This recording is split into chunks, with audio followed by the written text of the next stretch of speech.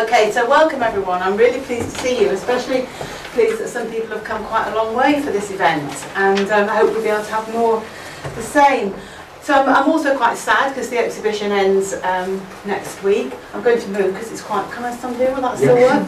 It's quite hot there. It's kind of giving out. So my name's Meg and I'm one of the directors of Greenham Control Tower Limited. And that is the company which is a company limited by guarantee which is a not-for-profit and we're going for charitable status. And we're the company that manage the control tower.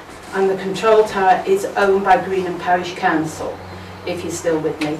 Greenham Parish Council bought the tower in 2014 after it had been derelict since the end of the Cold War since about 1992.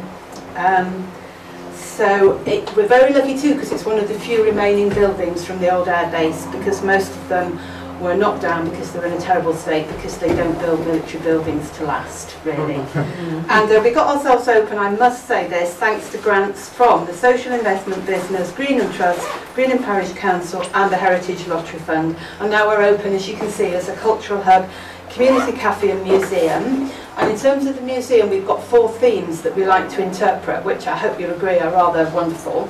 We've got the natural history, or the landscape, the social history, the military history, and the role of protest in society, which is the main theme for today, obviously. And I think everything about that is fab, really. So without further ado, I'll introduce the people here.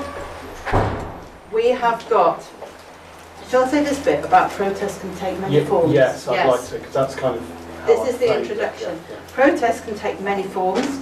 It's often encountered in public spaces and collective actions such as marches, rallies, graffiti, and of course at the peace camps in Greenham. I'll open it again and then Yeah. tie this down because it's hot. Yeah.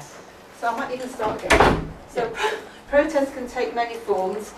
You can, it's encountered in public spaces, collective actions like marches, rallies and graffiti, but of course at the peace camps in Greenham. Yet protest may also appear in other forms that are less immediate and interventionist, um, such as texts, lectures and works of art. This discussion considers the different these different perspectives and what connections exist between making art and protesting. So what we're going to do, there'll be two sessions with a break in between when we can have some refreshments. We've got cold drinks, or I can make you a hot drink, and I've even got some cake if you're happy. Um, so from three to four, each panellist will present for 10 to 15 minutes, and am I the timekeeper there? I think so. Yeah, I'll if, just if anybody's overrunning or Yeah, something, I'll make a noise. and- And then, uh, and then uh, we'll have a break at four o'clock, and then 4.15 to 5, that's when we'll have a sort of open discussion. So if you could try and save your questions, your burning questions for then. Is that it? yeah, yeah. So for our panellists, we have here, I'm really pleased, we've got three professional artists and a Nobel Peace Prize winner, can you believe? Dr. Rebecca Johnson there. Uh, she's the founding co-chair of the international campaign to abolish nuclear weapons, ICAN, and a 2017 Nobel laureate. And she's a long-time feminist peace campaigner. And she lived at the peace camp for five years, from 82 to 87. And she's going to share stories and songs from that time. Uh, Güler Ates um, makes art historical references. This is Güler here. I'm standing in front of her rudely because it's hot. um, yes, and by acknowledging Orientalism, a genre created by and for European male artists, it is often considered mere aesthetic indulgences of erotic desire rather than accurate or cognizant depictions of the Middle East. And At- Ates asks us to reconsider these tropes. Kirsty is an artist and curator living in London, and her work investigates the atom bomb. While referencing the scale, beauty, and abhorrent nature of these events, she delves into the periphery of the subject, the myths, characters, and surrounding evidence. As a child, Kirsty regularly attended CND protests with her family, and this dichotomy of sentiment, of um, sentiment, dread, and awe, it drives her practice. And finally, last but not least, as they say, we have Robert, who makes art about the human condition, rites of pa passage and identity. In No Eden, he presents images that only, not only reflect upon gender roles highlighted by the history of the peace camps, but also the problematic language used by men of power who since antiquity associate violence and destruction with virility. I think we see some of that in the language here, around here. So I'll hand over to Robert, to, Re- Rebecca. to get, Oh, well, I'd like to first of all say thank you to all of you for coming out on such a beautiful sunny day. Um, and to thank Robert for organising this. And it's, it's wonderful just actually seeing your art out on the walls. So it's lovely to have this chance to see it. And to Meg, um, you know, for all the events that you're doing here and, you know, Anderson in particular. So, as she said, I lived at Greenham from 82 to 87. In fact, I was one of the three women that occupied the air traffic control tower just after Christmas. And my bit of art then was to paint a banner saying peace on earth, because it was two days after Christmas and the nuclear weapons had just come in. And we hung it off the railing just above here of, of, the, of the actual kind of, of uh, observation deck of the. And then nobody came and arrested us because they couldn't see. They were busy, you know, with all their lights, working on some fire trucks with their rifles, fl- uh, uh, uh, you know, over the back of their shoulders.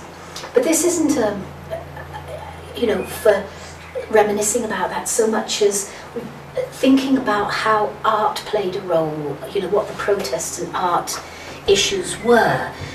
And I'm actually going to show you this one first, just because it, I, I put it up there. It's a, mon- a photo montage by Peter Kennard.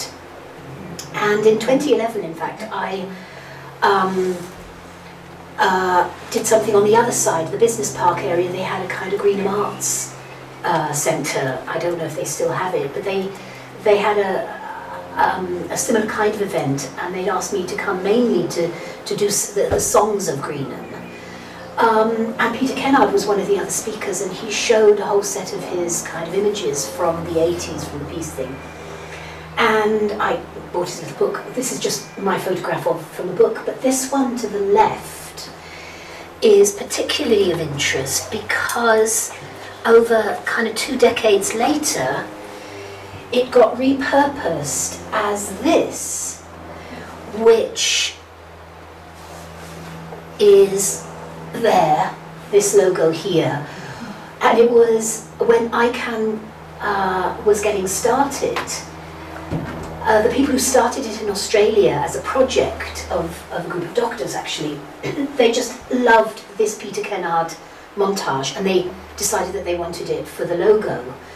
And, um, and then added to it the name ICAN, which is International Campaign to Abolish Nuclear Weapons.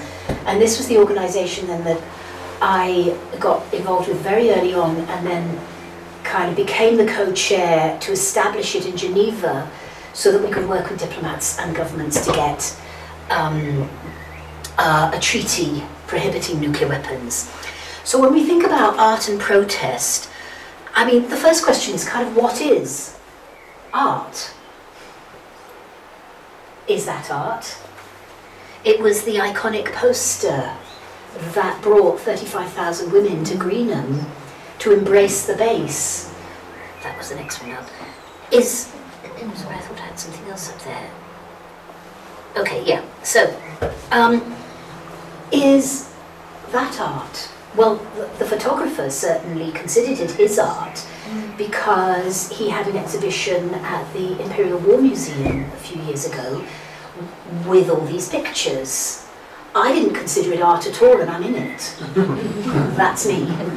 But what I did kind of consider a mixture of art, protest, and non-violence was that faced with big digger trucks and things wanting to extend the base in this was 1982 to I'd only I hadn't been been at Greenham for more than a couple of months um, in order to make uh, in order to prepare things for the nuclear weapons to arrive uh, later in 1983 we gathered and we with wool and ribbons we wove and what we actually wove was sort of waist high and we wove all around the, the, the, the area and then we lay down underneath. And it was very interesting to see the police didn't quite know what to do with this. And we'd done this with closing gates as well. We'd woven wool, we'd woven ribbons, and you know others in the United States women encircled the Pentagon and they wove around, you know, the whole Pentagon. They closed it with wool. And again, you know, the soldiers and the police, they didn't quite know what to do when faced with women with this very traditional, you know, thing that you make kind of, you know, your jumpers for your kids and, you know, but you also make art of.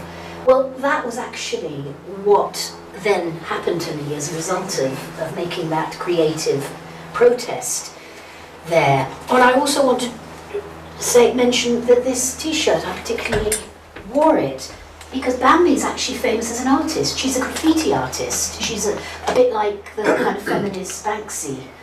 Um, and so this was put on the t-shirt by the women who uh, do Million Women Rise every year. I think this one was from a couple of years ago, 2017.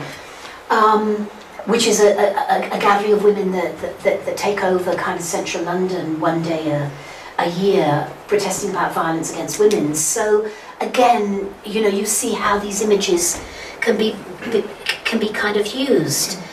Um, so I'm just going to show you just a few sort of little pictures and have you think about whether you think these things are art or you think they're protest or where you think they are on the on the spectrum. Uh, and this one is both because of the kind of theatre of Sarah, who was from Southampton, you know, when other women had uh, stopped the convoy, who got onto the top of it, and just the, uh, she was 18 years old, and just, she, the theatre of that, and theatres, of course, are. But others had also actually painted the peace symbol, the CND symbol, onto um, onto the truck. I don't know if that particular person got uh, charged with criminal damage, but what you know, the painting would be considered criminal damage and a criminal act, even though the vehicle actually is a vehicle that's part of the nuclear weapons convoy to carry the cruise missiles out to melt in the countryside. And she, I'm pretty sure on this occasion she didn't. They just tried to get her off there as quickly as they could and carry the, you know, get the, the missiles going. But she was, um, uh, she could have been charged with obstructing the highway or with, you know, dangerous something or other. So um, I'm just going to sort of scroll through some of these. They, some of them I've given kind of a bit of, of you know, like this is theatre, this is right in the middle of, of the city of London, and it was a, a 1980, it was about cruise missiles, it was about all the money going into cruise missiles.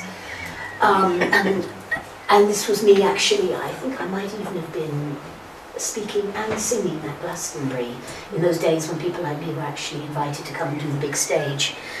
Um, and maybe I should sing, because I was actually asked if I would. And there, because that's my art, I'm not much good, I, you know, I, I don't know how to do painting and, you know, other kind of, of, of, of forms of art, but, but singing was both a, a, something I used in non-violence to, uh, but I also used it, I knew it was creative, and non-violence has to be creative because you can't just, you know, hit somebody over the head and move them out of the way. With non-violence, you have to persuade them and you have to change them and you change them through their hearts more than you change them through their heads. So things like singing and things like you know pictures those are creative means of protest because they change people from the heart uh, to everything. So and the song i'm going to sing is from a uh, i'm going to start singing a couple of lines from a folk singer called leon rosselson that some of you might, might know who made his career with with protest art. He was Britain's Woody Guthrie, if that, or Bob Dylan, you know, if that means anything. Um, but you know, absolutely lovely man, and his wife did Women in Black vigils and things like that with me in later years. And so he wrote a song um, called The World Turned Upside Down, or sometimes called the Digger's Song. And it starts, In 1649 to St George's Hill, a ragged band they call the Diggers came to show the people's will. Well, I used to sing that song and I loved it, but I, when I was stuck in Holloway in about 85 with not very much to do, frankly, and I can't remember quite why, but I had a, a, a book and a pen, and that was about all. I think I'd possibly been put in solitary, very probably for singing, because that did did happen to me. And I put some words to it that were our Diggers song, our Greenham song. In 1981, to Greenham Bays, a band of women with their children came to claim the women's space. They defied the governments, they defied the laws. They were the dispossessed reclaiming what was theirs. We come in peace, they said, the truth to show. We come to stop your nuclear madness and to make the commons grow. This earth divided, we will make whole. So it shall be a common treasury for all. Your wealth and weapons we do disdain. We will not let you make our earth a wasteland with your nuclear games. We'll stop your arms trade, your thefts and lies.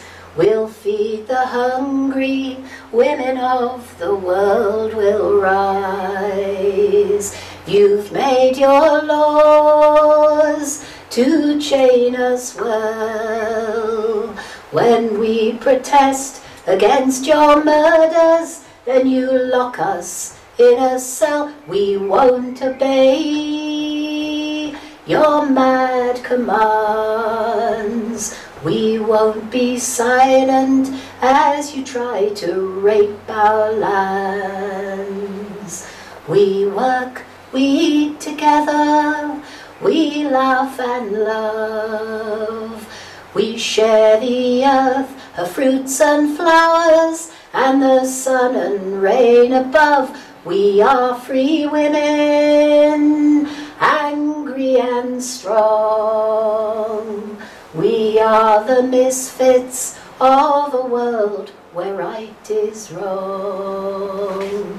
From the US military, the orders came. So Newbury Council sent its bullies, whom the future will condemn. They've destroyed our benders, now they come each day.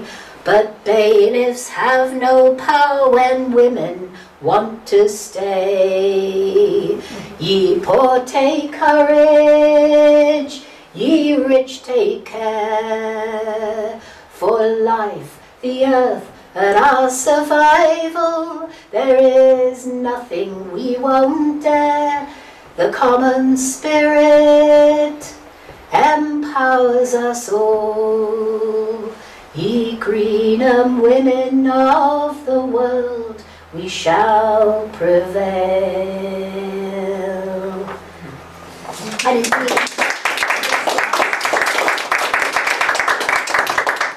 that's the UN in the background.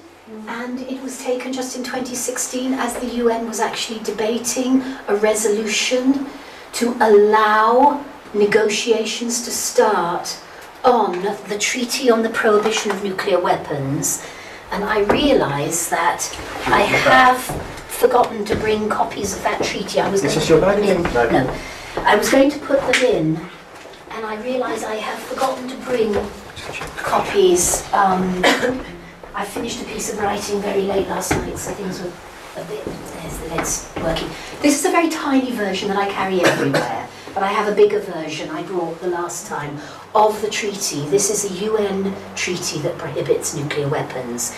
So we've prevailed to that extent, but just at the point at which um, uh, the INF treaty that came about in 1987 as a result that turned uh, the silos into somewhere where horses could could um, um, could graze and films like Star Wars could turn it into the rebel camp for the for that. Uh, INF is being trashed as Trump and Putin are trying to bring the next generation nuclear weapons in. So our job is never done. And um, I think kind of, so I've kind of shown this and so one of the things that I'd like us to think about is how, what do we feel about things like graffiti?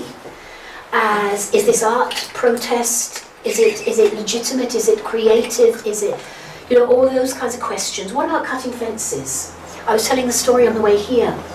The first few times that Greenham Women cut fences to go into the base, I didn't do that. I did. I, I did the silos action, climbing over the fence with a bit of carpet and, and a ladder, but I couldn't cut the fence because here's the Good Friday action. They clearly cut the fence and gone in because at the very beginning I felt that it would be damage to property and that, that I was committed to non-violence and that was about not harming.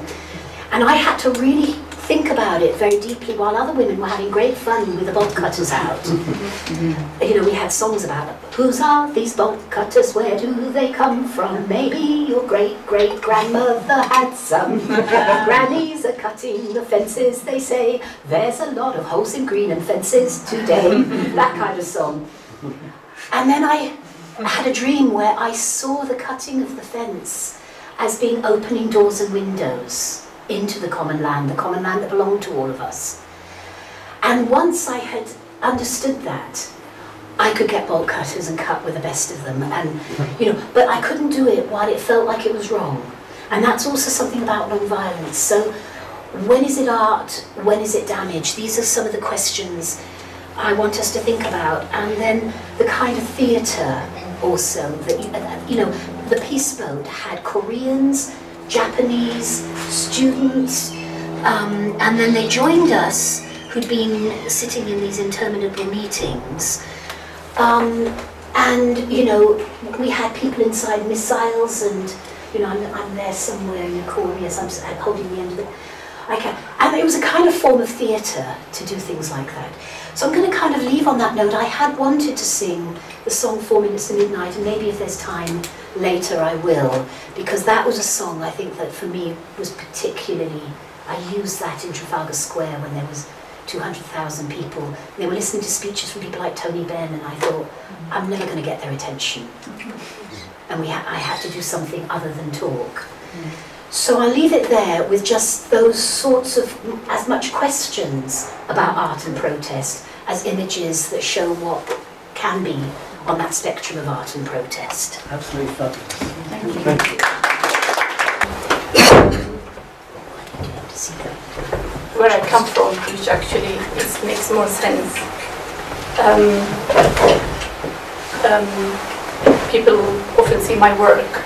Um, they always think these places are are, are um, um, from Turkey or from Algeria or from somewhere, from kind of um, exotic places. But this is in London. the London Holland Park. So I am, um, Lord Leighton is one of the painter who loves the, the Middle East. So his house, I will show you it later, you will see, is purely fusion of East and West. And within my work, I would often like to show that how the East and West could coexist together. And I am from Turkey, from close to Iran, where mainly um, Kurdish people live. And, and then we moved to Istanbul, like so many other people from Kurdish. Then we became immigrant. And then when we, when we spoke Turkish, then we didn't have good accent. We were again the other unwanted. So another place. And um, I didn't fully felt at home when I was in Istanbul and I studied art and I gave up because I wanted to be who I am with me, Güler, not you know from from Kurdish side or Armenian. It didn't matter where I, you know, where it's, what is my background. I want to be who I am, and that's why I came to to London to study art.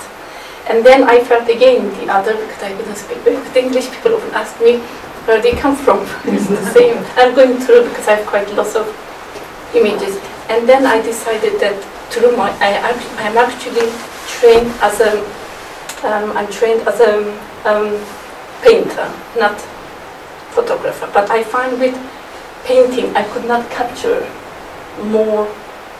Um, I didn't want to pay, it should be canvas and me. I wanted to have uh, much more complexity where I'm not actually, um, where I'm actually not in control, but the process, it takes its own control. And then I start to work with um, the model, and I, I often chose um, the, the building that links to the post-colonial history. Again, within this architectural setting, I would like to question, or I want to question, what it means within Western uh, British way, or the kind of Western eye, and through which I also want to look at what it means, for example, what actually, what, what actually um, these, these buildings are, I mean, I'm saying this building because there are lots of other buildings, actually built with uh, kind of the financial support come from the East. Mm. So I also want to bring that kind of this strong connection. Because, and sorry, going back, this is the um, the Leighton House Museum. It's this beautiful building where I go in, it's very tranquil and, mm. and I feel I'm actually at home. Mm-hmm. Um, I was working there for six months. They've given me this amazing, I mean, they gave me, um, they gave me um, place to stay. I mean, not to um, to sleep, but do my work for six months, and I made all my work there. And then I had a show there, which was in September 2010, which I enjoyed so much to push my practice, and where I start to um, employ the Western aesthetic, kind of mainly Dutch painterly aesthetic into my work, because I'm still, I'm still painter who would like to paint through my own own camera lens. So I'm just going a bit fast because I have the last works that I would like to talk about it more. And this is um, Great Foster, so I don't know if you know, that is in Egham. It's a beautiful Tudor building that built by Henry VIII and then expensive. very expensive, but they gave me the, the permission to work there and had an exhibition. I still, have um, four works there, still on show. So, and this is Royal Academy of Art. Again, I wanted to use my um, the figure against the books. For example, when we have books, we have to really open to find out actually what is inside the book. The knowledge actually is people often think once they learn they learn something, they will always know it, which is not true. Being from Eastern Turkey, we didn't have books. We didn't have library. So we had to, we, when we had the book, we have to give one to another person. So nobody owned the book. So the meaning of book was very, very different. And I often find people talking about veil, for example, but they don't know what is what is veil is. I mean, veil is. The veil is not belong to one faith. It belongs to all these different faiths. So I find it is kind of shallow judgment of a garment. It makes people to shut down to get to know the other person, and that's why I quite like to use the books. And again, I'm I'm actually um, being influenced by the the, um, the Western painters as well in my work. And this is in Holland. Again, the Dutch influences in my work.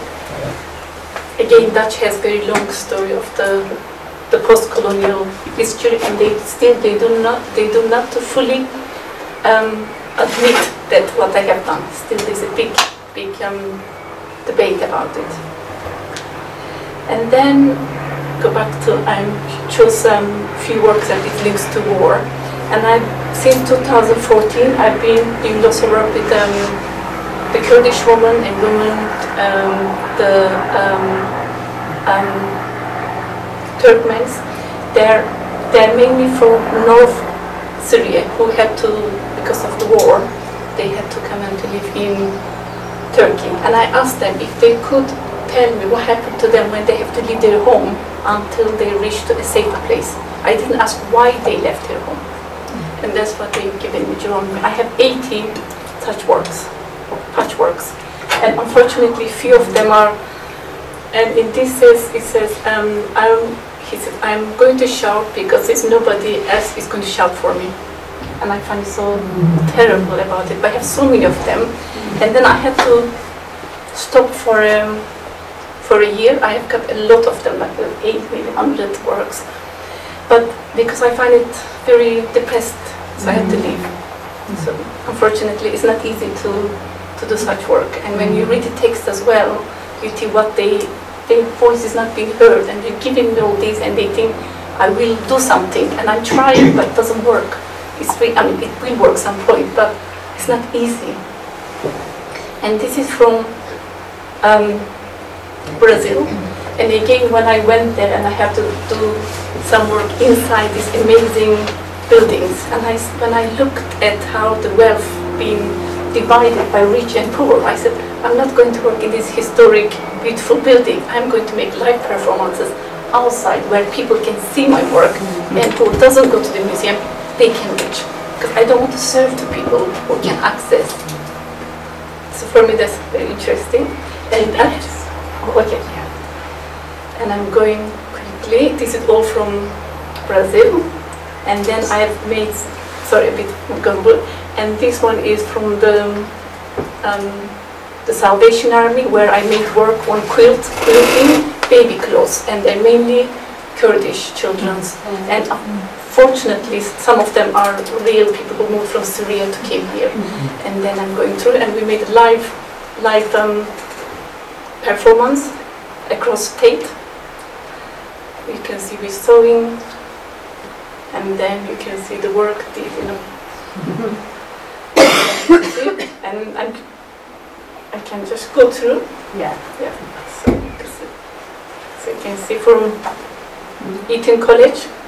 Mm-hmm. And then the last work is I've done two months ago with again poets from Syria, Sudan, Iran, who had to flee their home because of um, they were not able to be who they are. By by by which I mean that they could not actually speak for themselves. They were forced to shut down, and they when they couldn't, then they had to leave to come to UK. And this is their their poetries in my work. So what I've done is homeroom is full of poetry which talks about what happened to them again leaving their home until they arrived to the um, the UK. And the text is in Dutch, English, Turkish, Arabic, and Kazakhstan, which is another language. So it again is this is um, I would like to touch uh, the um, um, issue is when these people when they when they're coming to another country, people often found why they are coming to live in our country, but they, these people are have to leave their home because kind of indirectly they've been forced to leave.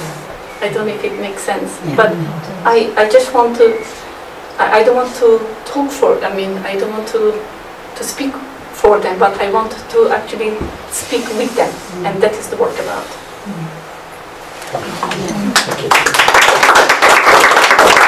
Um, so I'm an artist and I live and work in London at the moment. And my background, as you can see, was being taken on many a CND protests with my mother and grandmother and sometimes father. Um, so this is probably, I'm not going to bore you too much with my childhood, but it's quite, it's kind of links in. It's probably 1983 or 4. Looks about that, yeah. Can you tell? I will, that, that, that placard as well. Yeah. What the bloody hell is it? um, so this is the kind of outfits my mother would make us wear. quick, quick save me, carry bags, a few screws. and I grew up. Oh, I remember that. Yes. I grew up in a house where this was by the doorway, so anyone who came to visit us would be bewildered by this very strange poster, which I tried looking up the artist, um, but anonymous, apparently. So this kind of, these images were always and these, um, well, when I was going on the marches, there was a sense of sort of camaraderie and often it would be cold and wet and your feet would be soggy, be eating soggy sandwiches. But then, like you were saying, when people were singing on the coach there, that would seem to a child like we was like I didn't know what it necessarily was for. But we were all there together to do something, and something that kind of seemed important, but I didn't know what at that age. Um, and this is a photo that was in an exhibition uh, three years ago, and it's one that my mother took at Greenham. And when I discovered all these photos, maybe a year before, I found a lot of them to be so beautiful. Like this is probably my favourite one, but like the police horse against the CND um, sign that had been woven in with the policeman in the background. Great photo. And so I sort of spoke to my mum about it and wanted to collaborate with her on an exhibition.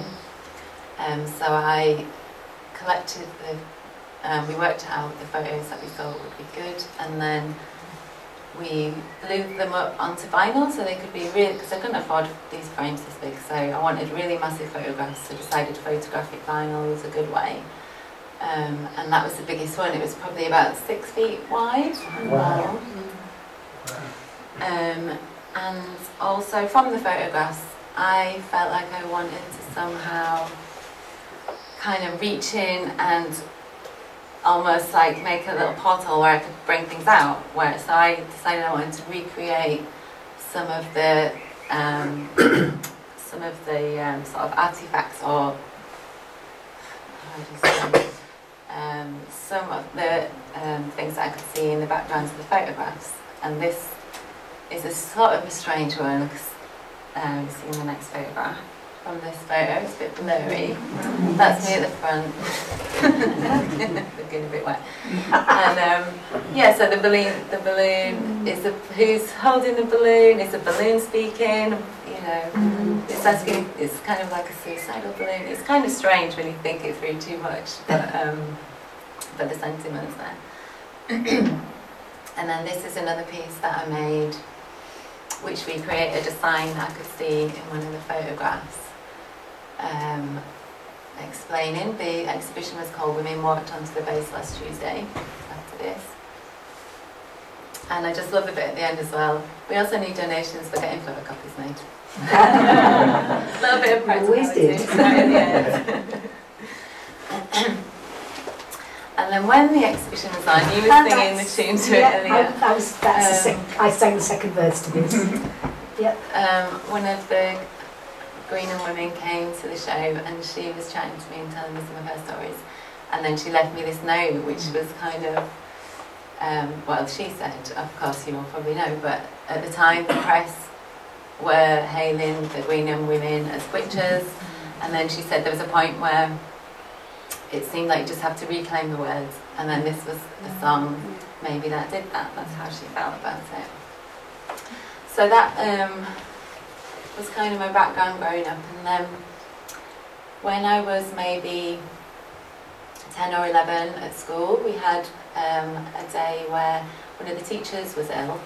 And so when that would happen, we'd get to watch a film. So they wheeled out the big telly, and it's you know a moment of excitement. Our eyes are wide. And then they showed us. I went to school in Yorkshire, and they showed us the film Threads, which if any of you've seen, is um, a film about in set in Sheffield, and um, the Soviet Union basically attacks Sheffield. But I think more than one. Oh, there's there's a there's a fair few um, atom bombs around, um, and it's the story of this family and their day-to-day life, very gruesomely turning into the nuclear winter, and then it goes on for months and months. It drags out the process, and it's not the happiest of endings. Um, so they showed us all that, and we were all basically horrified, um, because it seemed so close to home. It could happen to us. We were sent into a whirlwind of fear.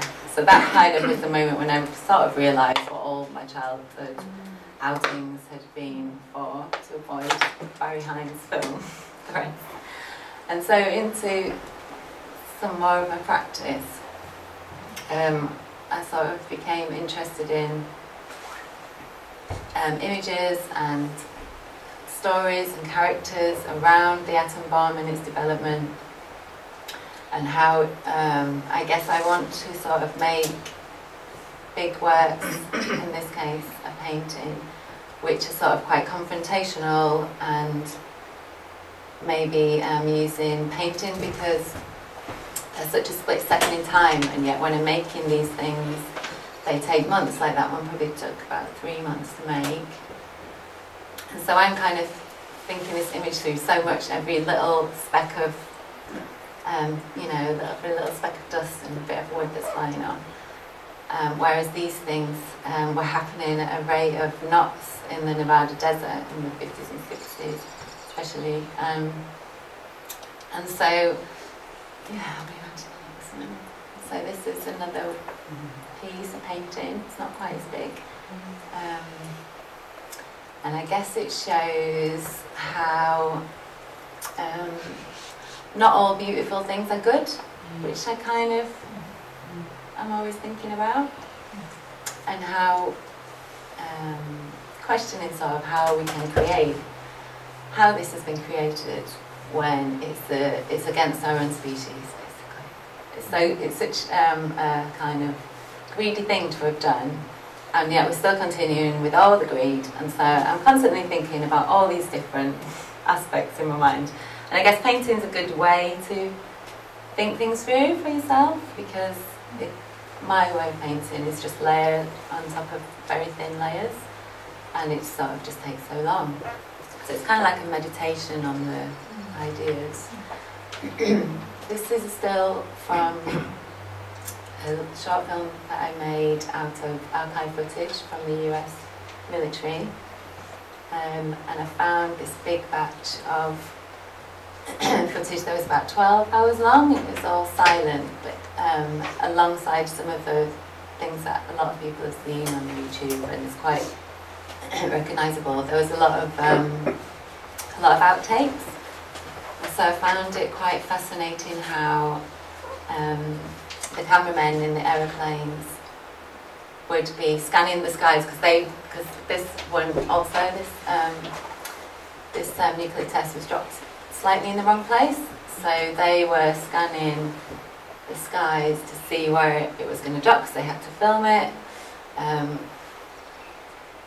so there were a lot of outtakes because it was in one place so this film is kind of about the cameraman scanning around looking for this kind of protagonist who turns up briefly. Um, and um, this was a performance that I organised with a cellist who had just met, Hal, very good one, if anyone needs one, he's in Manchester. and um, he, I asked him to watch the film because I didn't know, I kind of knew that I loved cello and maybe it had the right tone for the film, but I didn't know. I have like a bit of a musical background, but I could never write a um, score or anything like that. So I asked him to go and watch it a few times, and then um, I commissioned him to play the piece on the evening of performance. And I'd not, I'd not listened to what he'd done, so it was nice in a way to kind of um, give over control to someone else in a way and work collaboratively um, instead of having so much control like you might do just working on your own work. Um, and it turned out really well, so it's recommended. Um, and this is one that is do impromptu, often at exhibitions. Just a small cry for help. whitewashed window. Yeah, on a whitewashed window, sorry, which is um, which was in the sort of protect and survive leaflets. And whitewashing your window would help protect your house from the blast of a nuclear explosion. and it did work a tiny bit in the test. But, and this is a much smaller piece in ceramic. And I'm always kind of fascinated by, well, fascinated is one word, but always captured by um, sandbags whenever I see them because they always look so um, like creatures crawling along, uh, like they're hugging, or you know, and they're here, they're sort of here in history, historically, to protect us and provide barriers against something that's um, going to cause us harm, like a flood or gunfire. um, so this was a sort of um, exploration into ceramics, which I enjoyed. I haven't got kilns though. And that was an audio piece, but um, I can't really play it, can I? Because it was linked in there. We could maybe, we could maybe try and get it set up for the, All right, for the yeah. second half, I think, yeah. Um, so this is a long piece now, it's 15 minutes long now, and it gets updated every time I show it.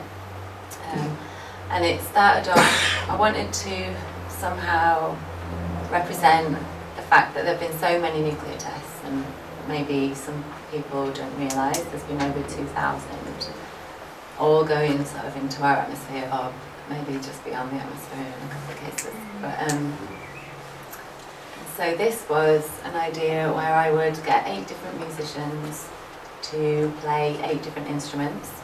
And then I'd plot out a timeline of when each um, nuclear test and nuclear explosion happened.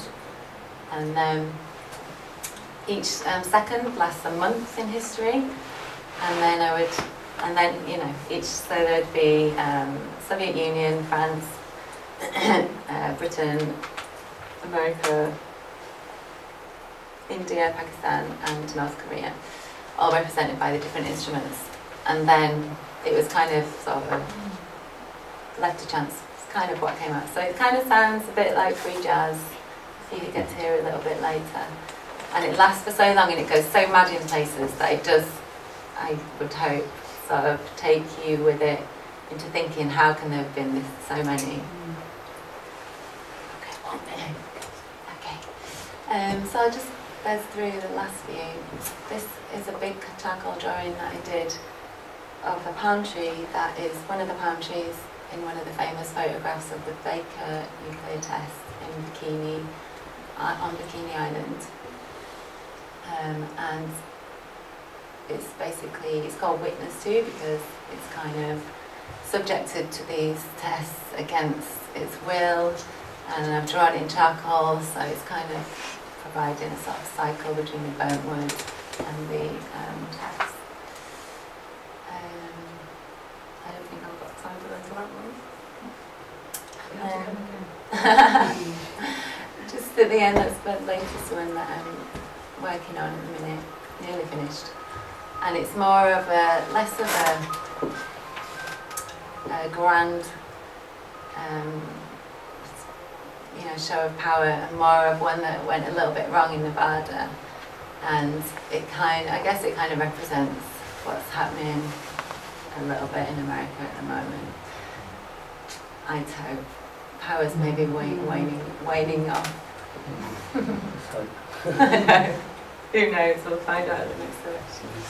good, right. Oh, I guess one just quick thing Yeah, is sure. kind of what I guess I was interested in was how people feel about how we can sort of inject protest into our practices, even if our practices aren't wholly about that. And what I started trying to do is to make a poster about something that I care deeply about, um, maybe once a month.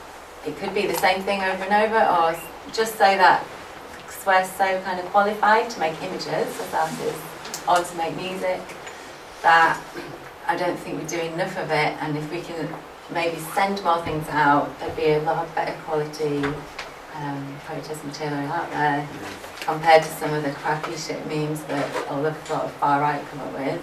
We can outdo them with design, at least, not um, with this. I don't know. Yeah, no, it's a very good question to end on, I think. Right, so I'm coming at things, I personally feel that I'm, I'm, what I'm, what I bring to the table here with No Eden and so on in my own practice is I'm fairly new to, new to the gig of, of trying to work out what it is to be an artist and my position towards protest.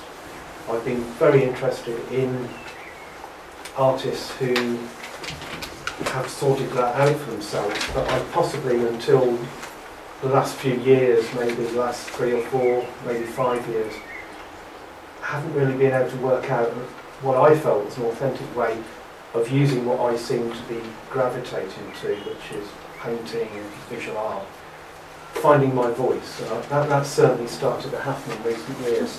So I kind of pulled together some of the things that were resonant for me as I was developing. I did my art education in the 80s, so I, I, I knew about peace camps here, top left. Subsequently, um, Tiananmen obviously as well. Um, obviously well aware of um, you know the issues with suffragettes, and also more lately, of course, you know, I just wanted to kick off with all this sort of long history of how people protest. But what is it to be an artist and use your art to protest? As Kirsty says, how can we have agency as artists and still make good art? To me, that's something I can't escape because I do, do a distinction, and I'm aware of the difference between protest art, activist art, and art that is made by protesters. They all serve very different functions. And we were talking in the car here with Rebecca about um, some of the banners that were tied to the fence at Greenham. The whole point of them being there was that there was attrition, that they would become dirty, they would fall apart and so on. That became part of the testament. They functioned very differently to an artwork which also existed that uh, one of the Greenham women would come and put up on the fence, photograph and then take away because it was too valuable. Yeah? I don't have an issue with either of those approaches, but they're different. Anyway, a little bit more about me. So, um, this was a painting uh, I produced, um, a series of paintings that I produced in 2016. Um, it was my turn. I've been thinking, not from a, any other point of view, from other than anxiety about what was happening in Crimea. There's some awful things in the news and I wanted to try and say something. It quite came from a place of anger, really, but I wanted to use cartoon imagery, something very crude and something just absurd almost, to try and. This idea came to me not from an intellectual position, more more from here. The fact that a fairly agrarian society could suddenly flip over, as it did in the Spanish Civil War, and people just start killing each other of different, different ideological ideas. So now you're trapped with my chariot was, was, was one particular work. Another one, Abelman, this, this idea of this ideologue riding through on his crazy vehicle with his light of absolute certainty shining out before him over this sort of wilderness. Um, you know, uh, and then another couple of images, which again we had, we had the rise of ISIS and the whole use of vehicles to you know, um, drive into various people. So, hero and zealot tried, tried, don't know how successful they were, but they were my attempt try and work with the anxiety and, and frustration and the anger and the horror of what was happening around me and try and put it into my own, own painting. So, um, a little personal aside, my, my wife is Cantonese, uh, grew up in Hong Kong, and we go back every year. And in 2014, um, this had quite, well, a very profound effect on me. I think Rebecca will be inter- very interested to see some of the photographs. And We'd probably love to see the whole lot I took, because it does not look like green. You know, loads and loads of, uh, of, of tents. And they, they literally, if you can imagine a city in London, they took over a whole part of Hong Kong Island and brought it to a. Fantastic. And we went and we gave our support and we, we offered money. They didn't want money to students. And they, they set up long tents, they're very well organised, to do their studies. there. You know, absolutely incredible. And they had a very strong ethos of, of, of non-violence. But some of the imagery there, I just absolutely loved. Again, playing with, um, I mean, the contemporary art, you can find many, many examples of this, especially influenced by the Japanese, but using childhood imagery, but using it in a, in a particularly sinister and malevolent way. These are some of the barricades that they set up. Yeah. Uh, just fantastic. A little garden right in the centre of the financial district. Um, there, look at that. I'd love to have some of those photos. Yeah, yeah, happily, happily, yeah, yeah. Anyway, um, I, I, I've fished out a few quotes. Uh, again, over the last few years, I've been trying to work this out. I just can't. We're coming to a quote in a minute that um, from Philip Guston, which will articulate my feeling. I could no longer just go and make my art and not try and somehow link it to what was going on in the world. So, yeah, there we are. Ai Weiwei. We all know about Ai Weiwei. Um, this was what he did in response, and it got him in jail. I think is the main reason he got into jail uh, to do with the Sichuan earthquake. That basically, the Chinese authorities didn't release any of the names um, on the wall there. You can't see it very well. He got the names of everybody who had died, and these these rods here are all the straightened out steel rods from such Sichuan where where they've all been crushed and taken out. Of the so very very good. Anyway, it's rather depressing, you know, the whole idea that we seem to be cyclical in history. We don't seem to learn from history, and you know, I'm, I'm sure when Goya painted this, he, he he's just. Um, some of you may well have seen the cycle of etchings, which are far even more shocking than, than, than, this large painting, the Third of May. But um, nothing much changes. But you know, what happened with the Napoleonic troops, Goya actually witnessed. It's documentary painting. It's, it's now history painting.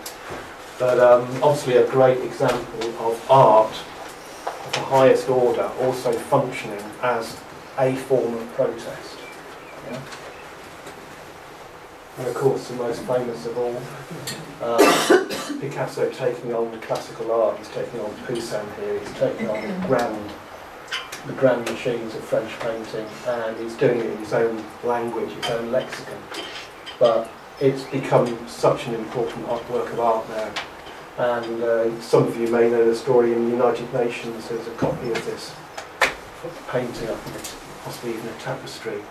And when they were deciding whether to bomb Iraq, they actually covered it because they didn't want people to be influenced when it came to making that decision. So there, there is a high art painting. You, you know, Picasso, the great 20th century master, painting in the high tradition, and yet that, that painting is functioning. A lot of people in, in northern, in the Basque country, Guernica, they want it back. It's, it's got it's got so much meaning for people, not just artists. Favourite quote of mine by a painter who's had a massive influence on me, Guston. Um, yeah, he's, he's just basically saying he, he moved from painting beautiful, sort of painterly abstracts. He said he just couldn't do it anymore. He couldn't go in and balance a red and a blue, angry outside the studio, in the studio, drinking his green tea and just you know, making a nice composition. So, um, arguably, slightly out of focus here.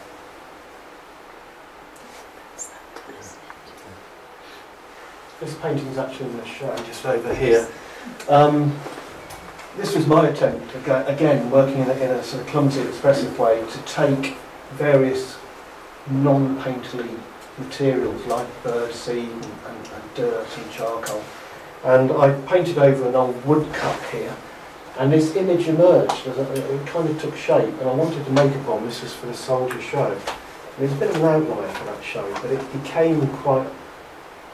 I put it in as a bit of a get something under radar in this, about, and I was linking the child, you know, the sort of idea of a kid in a crib with his little legs with, with the bomb image. And so many people got it. I, a lot more people got it than I thought were going to get it. So um, there is that trope, that, that visual idea comes through in, in some of the work in this exhibition. Um, again, more influences upon me. Here's another work, uh, like uh, Rebecca showed, another collage by the artist Pete Kennard. Um, and it ties in so well with, with uh, you know, the kind of things Kirsty was saying as well about, about the atom bomb. And of course, never again, to me, that's a very ironic thing. I don't think anybody's listening, and if anything, going to witness again what atom, atomic bombs can do if Trump gets his way, or if Bolton gets his way more accurately. Uh, another great work, which I never actually saw in the flesh, I wish I had, but it had an effect on me because it, it, talk, it, it uses, again, it, it references something artistically for me that for some reason it's quite important. It's the idea of frontality the idea of devotional art using the sort of crucifix image. Um, I've linked it to a work behind here, funny enough, called Deity, where it's a cruise missile flying across a very, very dark sky. This slide doesn't really show it, but I've made that cruise missile reference, you know, a god, the London denominational god.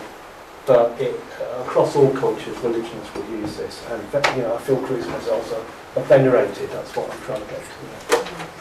Out of interest, they helped make that. Did you? Yeah. Wow. Oh, Oh, thanks. It's even more yeah. So um, there's a painting over here. That we, I'm, I'm going to put, put it up on screen as well in a minute.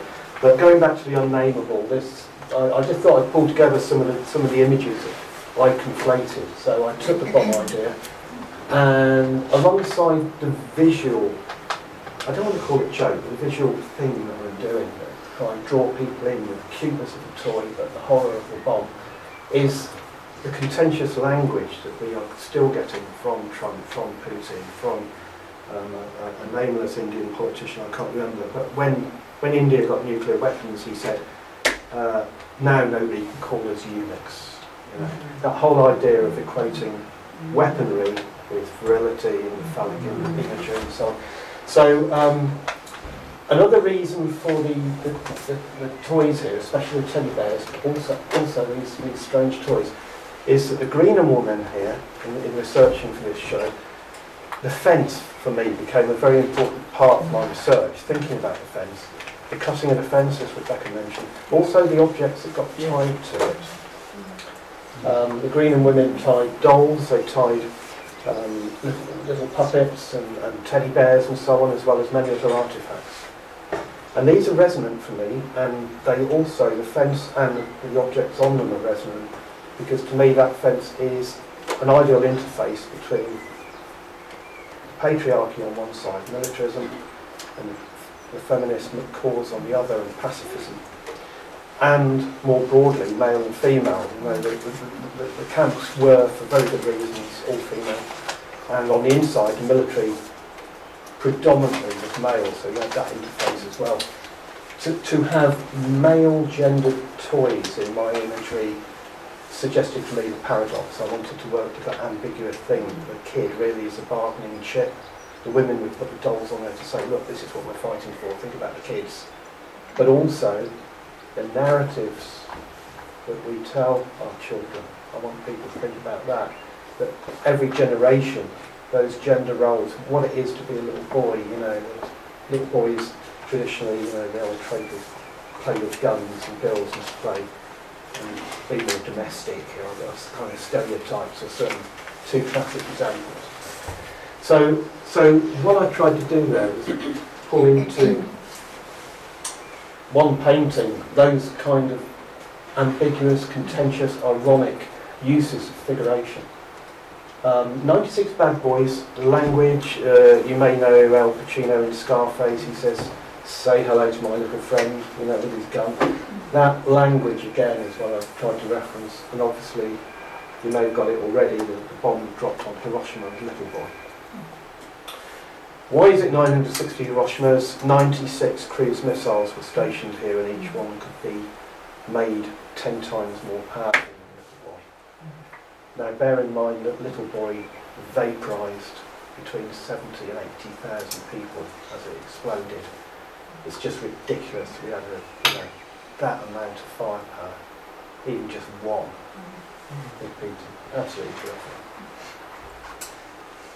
So I'm kind of wrapping up. I, it's a bit of a long quote, but I couldn't resist finishing with it. Um, that's kind of where I see art just can't be about decoration. It can't be about balancing a red or a blue. You know, I want to make the best art I can but it's got to be coupled to, to the real world for me and, and the issues of the day. So, yeah, it's an instrument of war. Um, I think that's, I think I've finished. So I hope I didn't rush that, but does that take us to exactly yes. 10 past 4? what, what I was thinking was, it's just like quite emotional in a way. Mm-hmm. It's sort of, you can't put it into words. And I think when people look at it, and as you say, you use the expression, Robert, some people get it, and then it, then it sort of has an effect on an individual, rather than actually, see, I don't even know what I'm trying to say here. Can I suggest, I I came across another quote by Ai Weiwei yesterday. Yeah.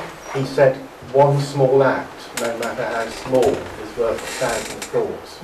Because I feel quite Yeah. impotent, I feel quite, um, how on earth do I authentically do something about this? I feel quite helpless about all the crap that's going on. Ah, I yeah, see a lot of people yeah. do. No, that's what, that's what came to me. Yes. small That, acts. that came to me that it actually might get through to a lot of people a lot more than listening to what a politician keeps spilling out, particularly when they're doing it over and over again. And even people who are interested in politics are bored, are bored almost with what, what's going on. But just looking at a painting, and I've been in here, and I've heard people say things that aren't really particularly to do with what it's about, but they're to do with social issues and social situations, and they'll stand and they'll look and they'll be moved and they'll come out with something quite mm. random.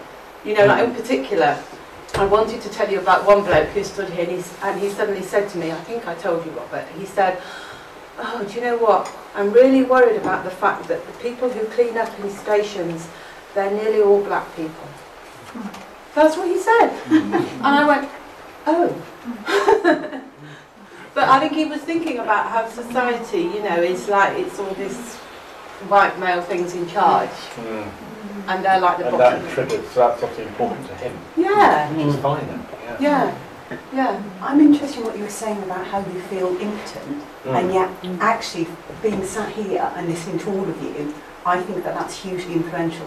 Right. Everything that you've talked about, and I've been moved by the things you've all said, and so I think it's really interesting how you harness that power that you've actually got. You perhaps don't Yeah. recognise that you've got it through your work and your actions, how you actually I guess to, And to clarify that. that, that sense of it, feeling independent, what I mean by that is certainly for me, the art when I'm making it, I don't feel like that because I'm engaged Yeah, with something yeah. that I love doing. But I think, you know, you do question, you think, who's listening? Is it just only me already converted? Am I just playing to an audience? Yeah. Especially if I put my art in an art Yeah. gallery, Yeah, the majority of people who come in, if they walk over the threshold and don't immediately walk out again, they're probably going to read it and pat me, want to pat me on the back. yeah. And that comes I'm not, I'm, I'm, I'm not affecting any space. change then. I'm, I'm not going to mm-hmm. achieve anything. That's why I mean, you know, I, I may feel better. I may have connected with somebody. But it's connecting with people who aren't necessarily like What, you, like yeah. us, like what, what I'm sensing more is an urge to try and convert the ones who are convertible, because let's face it, I think there's probably some who are never going to be Yeah. converted. Yeah. never say Right. never.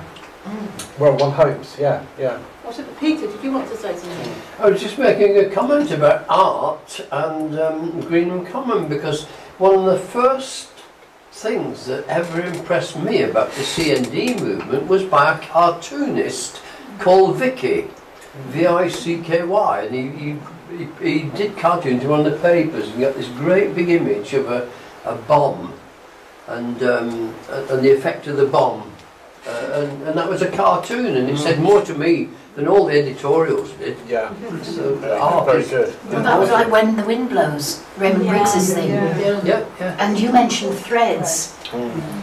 And actually, I, we got to know um, Hines, uh, sorry, the first name's gone out of my head, Barry, because his daughter Sally, at the age of about 16, kind of ran away from home and went to Greenham. But then her dad used to come and kind of, you know, and you kept mentioning, you know, it took him a long time to die and kind of, you know, and that's exactly what he was doing with his film, was actually reminding people it's not the, you know, if you're under the blast, you die instantly, and it, you know, there used to be a phrase in the 80s saying, you know, the, the living would envy the dead. Mm. And he picked up on that, and he, he made that film out, actually out of all of the instruction manuals and, uh, you know, things for Sheffield Council in the event of a bomb. And it wasn't that, that there was just one bomb that landed on Sheffield, it was that there was a war. Yeah. And so once there's a war, it's going to land on your There's major not going to be that many people to come and save you. if There's There's not gonna all be anyone. over. And it was the council having to go down into the Yeah. the, yeah. the bunker, but of course the bunkers weren't Collapsed, actually keeping the radioactivity out, although they were told that they would be. I forgot about the council bit. Yeah. God, it was great. Yeah, and- there. you know, a couple of us sort of dressed appropriately.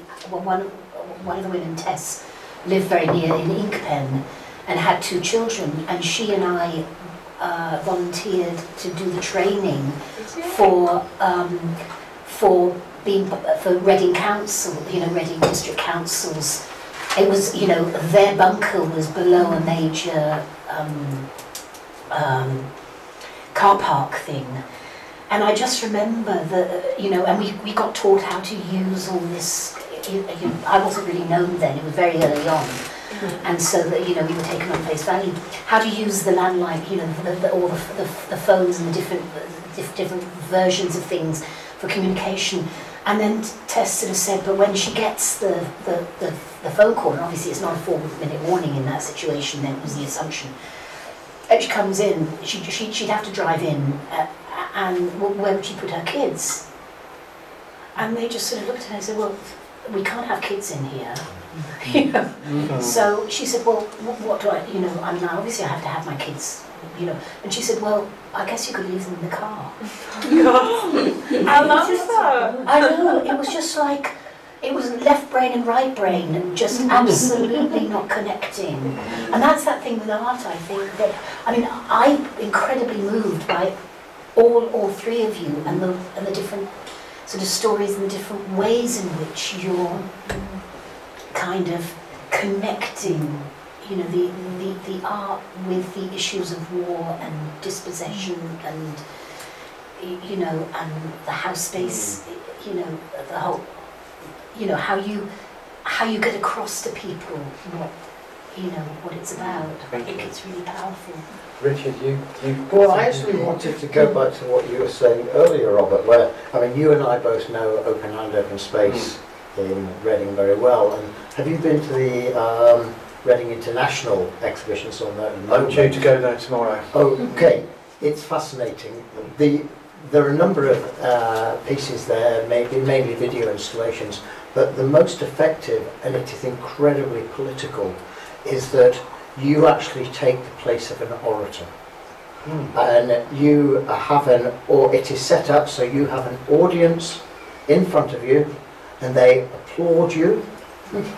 Um, and you are on a rostrum, and you are projecting, and you are given these awful things to say. I did say them. You have you Said seen it? It is so effective, isn't it? Right. Because you find yourself, you let's say you are someone from the American Friends of Israel Right. and making what I would consider, I this is what I was saying. I had this speech to give, and I was in this position where I'm saying these things that I find abhorrent, but the attraction of having an audience in front of you, applauding you, Very and you become aware, you are, you have the um, pedagogy skills, as it were, or you think you have, and it is one of the most political things. You, you say you have, uh, did you take part in it? Yeah, I've done four of them. And how did you find it? Very angry. Scary? Really frightening how you take on this And role? being from Turkey on the top of the mountain. Yes, yeah. So if any of you are from Reading or can get to the exhibition, Open Hand, Open Space, uh, Brock Barracks Studio in Reading at the moment. Uh, it's a Reading International thing, and the rest of it is good. That piece, which is not conventional art in any way at all, mm. but I enjoyed the talk. One of them was giving a talk to the schools, and again he was saying, "I want you to know that there are nuclear weapons in Burghfield, just at junction 12, and I hope it won't stop you sleeping." And it was good. It was all very factual, but he did sort of say that here's a slide of a rocket, and the and um, the rocket technology came out of the Cold War. You know, because the Cold War fueled a lot of development. Um, and he sort of showed this slide and said, look at this big boy, ooh. Um, I'm thinking, Ah, QED, yeah. yeah. it's not, it's a metal tube. Yeah. Yeah. But That's so enough. there's something very, there's something very deep Yeah. Yeah. Yeah. And I think we need to Yeah. challenge that use of language. Yes, and, you know, absolutely. something that we feel uncomfortable about Yeah. because perhaps we didn't think about the flags or perhaps, but, but actually to you that's deeply offensive and uncomfortable and Yeah, I could have said, excuse me, why is it a big boy? Why are you calling it that? but it's, it's sometimes hard to be in that situation. Well, and you, Yeah. I, I never think is, about you it know, till about We were talking about that on the way here, the- and you, you can you Yeah, the well, four four Carol line Cohn- phrase. Ca- Carol Cohn is, is um, uh, a researcher that uh, during the 80s, when we were doing all the stuff here, she, uh, as a, a, a kind of sociologist, connected with the American, she is, a, is an American, connected with the American military, and you know, sat in with them when they were doing various of the military tasks, like choosing the targets, and also even spent some time with the soldiers down uh, the American, um, they, they had the Minuteman um, silos, which were, you know, vertical, a bit different from the silos that we have um, here.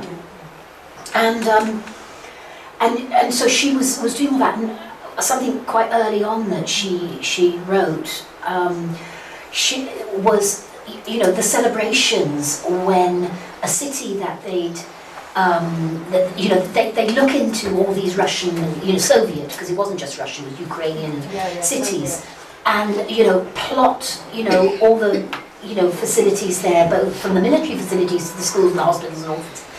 And they would vie with each other. They were encouraged to have a competition about, you know, how high could you get your cities up on the target list of the SIOP, the, the, the mm. basically the, the, war, the American war plan of that time. We're talking about the 80s.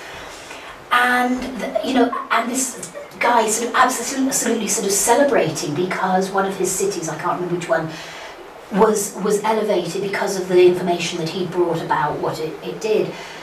And then he suddenly stopped. He said, "What you know? We're celebrating putting a city in a much higher place to be targeted by American weapons. You know, we're talking about millions of people, millions of families, you know, being being killed." And he said it went completely silent. He said, and I just felt so embarrassed because I felt like I was a, you know, I felt felt like they think I was a woman. And it was that phrasing Yeah, yeah, that. Yeah. There was and it was, it was like we're not supposed to connect our emotions, and that's just exactly what Greenham set out to do. Yeah. So Greenham set out, in fact, directly. I mean, I had a, you know, I, you know, I was trained in physics, but I didn't use that when I was at Greenham because I used my singing. You know, I used talking. I did a lot of kind of talking around sort of different groups and things. We deliberately wanted to connect directly with the emotions because it was this separation of rationality. We got the, the rational arguments, but rational arguments don't change policy. And both uh, Reagan and, or rather Reagan's wife, and um, Gorbachev have both pay, you know, talked about the effect of um, nuclear winter studies. So it was that visceral thing that also came out that you know was explored in the threads and in in, in some of the cartoons and things like that. And Gorbachev, at least, I think, has explicitly played, paid tribute to the Greenham Common women and the Eu- European peace movement uh, for kind of raising the consciousness. But it's it's this, and this again is where kind of we didn't think we were doing art when we invited women to come to Greenham and put the things that you love onto the onto the fence, and we said, and if if it's necessary for you, you can also put the things that you fear. So there were a mixture of the kind of Hiroshima images, but mostly it was, you know, all these sort of, you know, children's clothes and pictures and really, and teddy bears and really personal kind of things. And it was all the way around this nine mile. I mean, I don't know if any of you were, you know, here at that time and remembered it. It was absolutely, yeah, it was absolutely extraordinary how women just came and brought that. And it was that emotion. In the days before mobile phones and emails and Yes, everything, right. how we did it, I I, I actually found the original, I, I, I, I hand wrote as we had the meeting in the Creche Caravan, the, the, you know, as the ideas were pouring out. And then we did it all wrong, didn't I, I actually found that in, in, in, in a bunch of, of, of, of, stuff. Uh, the, the original draft that then I typed out on my sitting, sit up and, and, and, and bed typewriter. and then it was three pages of it because we had to explain why we wanted all of these. And down in this Newbury, hun- you know, I, mani- I had enough money to do a hundred of them and set and, and post them out. So it's three pages. You know, nowadays, you know, if you can't fit it on a, mm. you know, something, three pages, sent it out, and at the bo- bottom, of, or I think it was the bottom, it said, said, you know, please can you copy and send out to, to 10 women that you know. That's how we did it. Mm. So you just said a list of addresses? I, I only had a, I sent it out to a hundred, like were of, of you know women who were already a bit connected in with the networks. I think probably at least a third of them were in Wales at that time, and I can remember Manchester, and Newcastle, and you know Yeah. Edinburgh. and- You know, I I only had a hundred, and it was people already connected in a bit with CND, but women. Um, and uh, and they. But they cop- they did they copied it and sent it out and I bet most of them did more than 10 to their friends you know and it was just extraordinary Talking about um, use of language, you know, offensive language, you mentioned four lines earlier, the little rhyme that we were talking about movies, American movies. The rhyme. Uh, oh god can, yes can you repeat that that? Carol Carol Cohn put Yeah. in one, one of her books it's um, I think it's probably necessary to stand up for this one because because and I think it's in an American movie exactly as this do.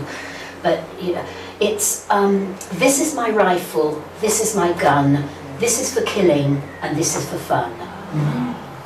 And Ameri- you know, and with that training, kind of, you know, the amazing thing is that quite a lot of them were actually really decent people, and you know, they weren't allowed to talk to us, uh, but you know, sometimes they did, and uh, you know, and, and like the school teacher who's, who taught the kids in the base uh, just before Christmas came out and she said, I've just resigned. She said, now I can come and sit with you at the fire. And, and you know and that, and that sort of thing. And we forget that round for two or three of the years actually probably more it wasn't just the fence it was like four five levels of fence. When we took over the air traffic control tower I had to cut we had to cut through I should say. Not supposed to admit to who did what. We had to cut through um, I think it was four of the layers of fence, and there was another very tough fence uh, around the, the, the actual nuclear weapons silos. But at the outer one, it looked like a concentra- uh, it looked like a, a Nazi concentration camp because they had up on the high stilts the guard boxes every hundred meters or so, or a couple hundred meters or so. We had to kind of where there was a slight bend in the in the in the, at the fence, in between two of them, was where we chose to come in when we were doing this action.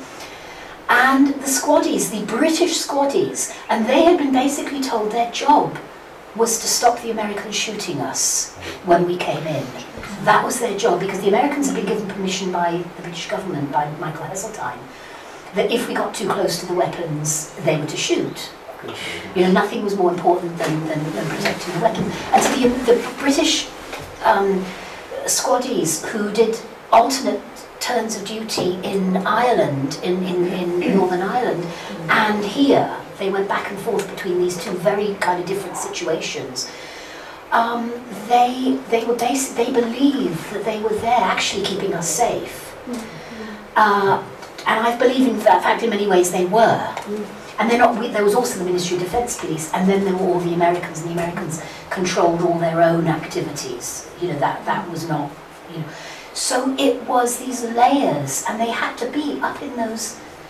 And, and a lot of people commented, and a lot of photos got taken. And by the way, I'd love to get the photos your mum.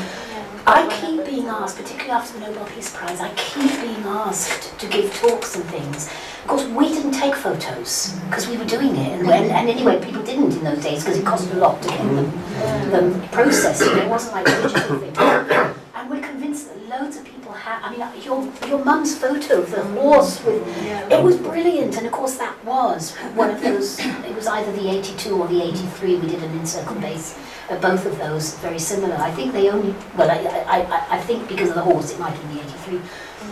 But we need to somehow, you know, bring together. I mean, it'll have to be libraries of different images, But there's so much out there in, you know, in people's attics and things like that. There is that project, isn't there, at LSE that we went Yes, to and talked to yeah. archive Mm. everything. So, yeah, it'd be great. And, and. Reading, the, uh, Lynette's, uh, some of you know Lynette from Newbury, her archive that she kept in her house for ages, it was always open to, to people. She's given it now to a Berkshire or some kind of a Berkshire. Given some to Berkshire Records Yeah. and some to the West Berks Museum. Mm.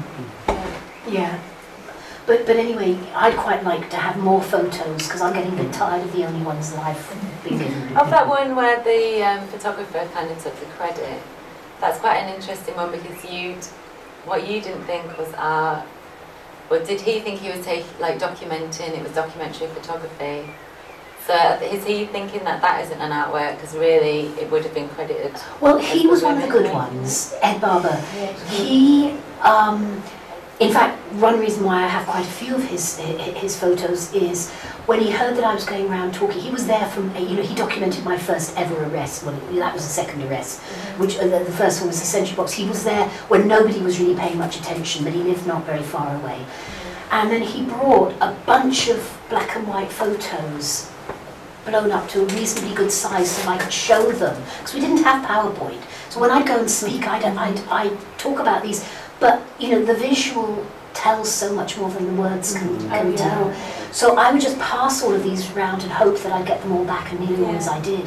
So Ed basically said you can use any of these whenever you want. If you if they get printed, if somebody wants to print them, then give me the photo credit. Mm-hmm. But I don't need to have the money. And he, you know, and he stuck by that. And then he did this exhibition at the Imperial War Museum, and I got to see him again. And it was actually just before he died because he had had cancer. And it was lovely. It was really lovely to see him again.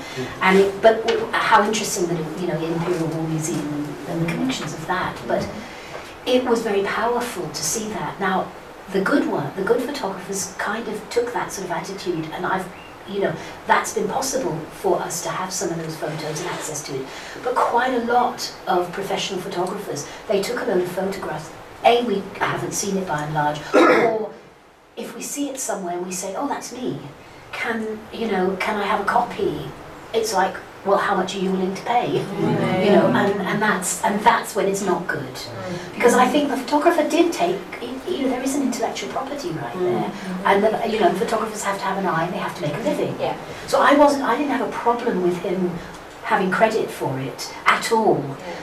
But I realised that, you know, I'm, I'm, you know, I'm personally the subject of quite a lot of photos that have been used in all sorts of places, and I kind of, a, I have no control over where they're used at all. I'm usually not named invariably not named, and I'm a little bit more now because I'm kind of getting to be better known and they're sort of saying, oh, I think that's, that's that woman. but um, I think it's a mixture of them, isn't it? And it's, it's, it's again, it's what's in the heart. And so the photographers that share and use what they're doing, they have a right to it. They have a right to their names being connected with it a- and we benefit from the sharing of Yeah. it. I would love to see this kind of thing happen in schools. I mean, three to five on an afternoon is probably not a good time to get school kids, but there's a lot of kids studying art who haven't maybe. I would love to kind of have a thing, you know, almost a roadshow that would go around schools. You know, it would obviously take quite a lot, but be this kind of conversation that isn't just about the politics and isn't just about the art, but is about the, the interface. There would Because be funding for that sort of initiative, that Oh, community you get engagement. Yeah, mm-hmm. absolutely. Yeah. Yes, definitely. because they're doing this with Extinction Rebellion. I mean, I don't know if any of you've got involved at all, but I was there for four of the days in London. I was doing a different role. I was the legal observer, keeping, you know, making sure that everybody was safe until the police, well, and as the police moved in for arrests and things. But the art, the real, the amazing creativity, some of it much, much more, con- in fact, I'd say probably most of it, much more consciously creative art than we had at we were not conscious that what we were doing was art. Mm-hmm. But the Yeah. same was true of the uh, EU march back in, when, it, when was it, the big, Yeah, October. no, more recently. Oh, Yeah. I was astonished at the creativity Yeah, there of were so the many people banners, actually. yeah. The wit, the The Yes. queue was just glorious. Yeah. There's normally a massive ones like that, there's a load of printed ones, but there was hardly any printed ones. Yes, they were very homemade, weren't they? Yeah, Wonderful. it was massive. but- Are there any more? I'm, hope, I'm wondering if anybody that maybe hasn't had a chance to ask or anybody has anything else to say? Because the cleaners will come and hoover us. No, they won't. Sorry, we have to have a vote. Well, yeah, I and can just poke one thing Poke- in, poke, and yes. that is um, that um, today, maybe with the Extinction Rebellion, is that now the Greenham Common? Or No, it's the Extinction Rebellion, but there's quite a lot of Greenham women. Yeah. But- but- but- but- Is that our but I- new fight? But I, Do you mean in terms of importance of prominence? Yes, really. yeah, but but it is of yes. It, I, I mean, I felt so so much at home, you know, more so than with Occupy, which. You know, although I did go and give some support, Extinction Rebellion has very much the spirit of Greenham. Mm. It's the spirit of a bunch of people coming together and taking personal responsibility. Mm. And the thing I also absolutely loved was the next generation of young men and young women mm. are very different. We had to be Greenham women simply to get our voices heard, simply to be able to explore our own creativity. Because in the 80s, the men that controlled, you know, the peace movement as well as all the, the, the poli- just would have laughed at. They would have laughed at a lot of. Well, they did laugh. They were la- They laughed and they were contentious. Some of them at most of the stuff we did at Greenham. But here, Extinction Rebellion is mobilising all of that, and the also uh, just watching the the way they were looking after each other in the blockades. I was very aware of that because that was my role was to be the watcher, and, and Do you you think now that each individual person has got more power with climate change, with what we can do with social No. media? No, uh, I don't the think they feel. individual things that we can do. Mm. Uh, whereas what could I have done uh, apart from joining Greenham Common? You know, I just made fruitcake. Yeah, but I don't think I did. they felt. I don't think they feel they have power because they've been talking. One of the other big Greenham kind of moments of the Extinction Rebellion as well is all the scientists have done all the technical, the, the, the, the, facts, the evidence. It all points to the climate emergency, but the political Yeah. classes, the, you know, the media, they keep trying to balance it off. And, and, and, you know, so it took blocking the centre of London, but not just central London. Remember, there were 80 cities involved that where there were, were, were people doing the same thing. And similarly, in a way, what Greta Thunberg did was the, a, a trigger for a lot of kids in school, a lot of her age cohort, in the way that what that group of Welsh women did, even though they, most of them, with one or two exceptions, had, had, had left Greenham within about a week of the peace camp happening. They weren't setting up a peace camp.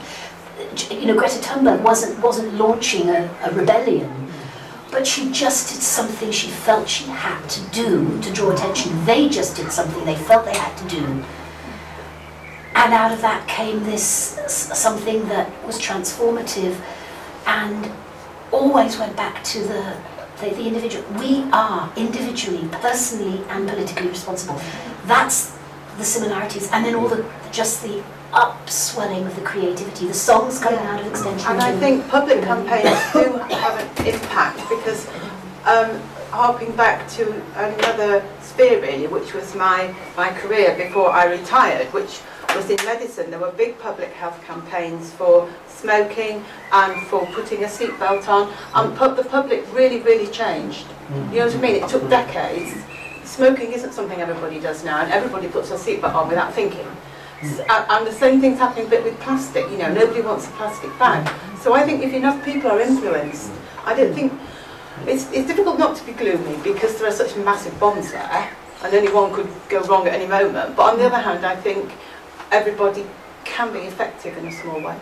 That's a very positive note. But the other connection, sorry, on the public thing is that I came to sort of see while I was at Greenham and then apply in the rest of my life is you need to get the public getting legislation change. Actually, the pe- people Yeah. again had known all the facts and stuff about about smoking, but it was actually when it, smoking was banned in the workplaces, Yeah. and suddenly then people had to change that. It was no longer just up up to them. And I, the same with the plastic bags. Yeah, it Actually, all has to go. quite a few people have been complaining about plastic bags for a long time, but you know, town by town until there was actual legislation. Yeah, yeah, that's right. So it is that those connectors. Thanks for coming. Thanks, Robert. thank you very much. Thank you all for coming. Thank you for organising. Yeah, I'm really glad to come. Yeah, that's fine. Yeah.